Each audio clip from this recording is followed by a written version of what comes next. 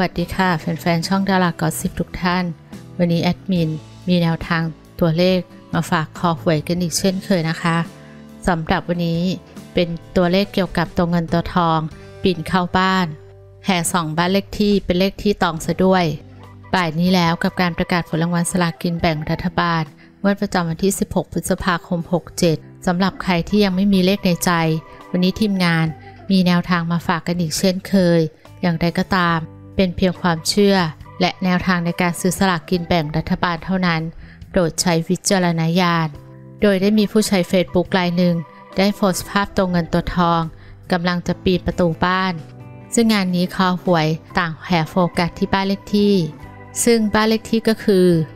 444ทับ26 นั่นเองค่ะ ทั้งนี้เป็นเพียงความเชื่อส่วนบุคคล โปรดใช้วิจารณญาณค่ะ